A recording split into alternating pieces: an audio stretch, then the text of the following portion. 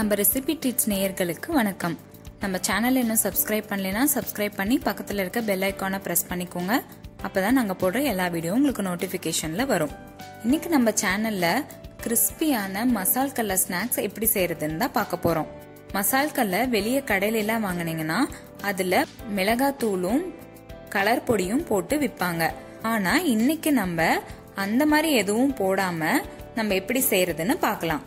இப்ப வாங்க அதுக்கு தேவையான பொருட்கள் பார்க்கலாம். பச்சை நிலக்கடலை ஒரு கிலோ கடலை மாவு முந்நூறு கிராம் சின்ன வெங்காயம் நூறு கிராம் பூண்டு ஐம்பது கிராம் இஞ்சி ஐம்பது கிராம் பச்சை மிளகாய் ஐம்பது கிராம் உங்க காரத்துக்கேற்ப நீங்க போட்டுக்கலாம்.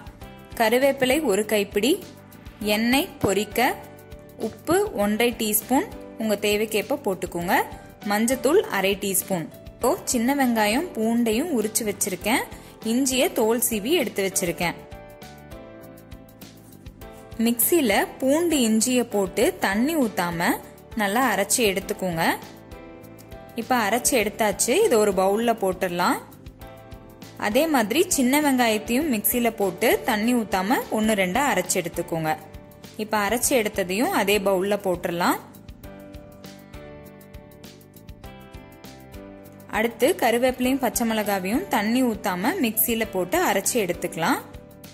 இப்ப அரைச்சி எடுத்ததையும் அதே பவுல்ல போட்டுடலாம் இப்ப நமக்கு தேவையான உப்பு மஞ்சத்தூளை போட்டு நல்லா கலந்து விட்டுக்கோங்க. கடலக்காவை நல்லா அலாசிட்டு தண்ணி இல்லாம அரைச்சதுல எடுத்து போட்டுக்கோங்க. கடலக்காவை தண்ணியில முன்னாடியே ஊற வைக்க கூடாது. அப்படி ஊறிந்த கடலக்காவை நீங்க எண்ணெயில போடும் போது அது வந்து நமக்கு வெடிக்க ஆரம்பிச்சிரும். இப்போ எல்லாத்தையும் மிக்ஸ் பண்ணிட்டு உப்பு காரம் பார்த்துக்கலாம் கடலை மாவை நல்லா சளிச்சு எடுத்துக்கோங்க. ஏன்னா கடலை மாவுல வந்து நம்ம கட்டி கட்டியா இருக்கும். இப்படி சளிச்சு எடுக்கும் போது நமக்கு தூளா நல்லா கிடைக்கும். இப்போ ஒரு பவுல்ல கலந்து வச்ச கடலையை கொஞ்சமா போட்டுட்டு கடலை மாவையும் கொஞ்சம் போட்டு மிக்ஸ் பண்ணிக்கோங்க.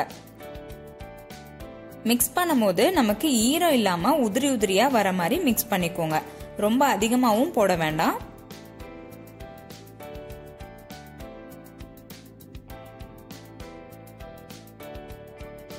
இப்ப கலந்தாச்சு. ஆல்ரெடி அடுப்புல வானலைய வச்சு எண்ணெய் காய வச்சிருக்கேன். இப்ப எண்ணெய் நல்லா காஞ்சிருச்சு. இப்ப இதை எடுத்து இப்படி உதிரி உதிரியா போட்டுக்கோங்க. அப்பதான் வந்து ஒட்டாம நமக்கு தனித்தனியா நல்லா வரும். அது நல்லா வெந்து வரத்துக்கு ஒரு செவன் மினிட்ஸ் ஆகும்.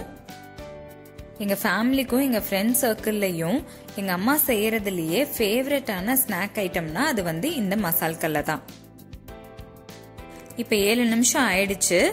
லைட் ப்ரௌன் கலர்ல வந்திருக்கு பாருங்க. இப்போ நல்லா வெந்துருச்சு. இதை வந்து இப்படியே அரிச்சு எடுத்துக்கலாம். அரிச்சு எடுக்கும் போது மசால் கல்லையில நமக்கு எக்ஸஸா எந்த ஆயிலும் இல்லாம எப்பவுமே கிறிஸ்பியா இருக்கும். இதே மாதிரி மீதி இருக்க எல்லா கடலக்காவையும் போட்டு எடுத்துக்கோங்க. இதை நம்ம அரை மணி நேரத்துல ஈஸியா சீக்கிரமா செஞ்சிடலாம்.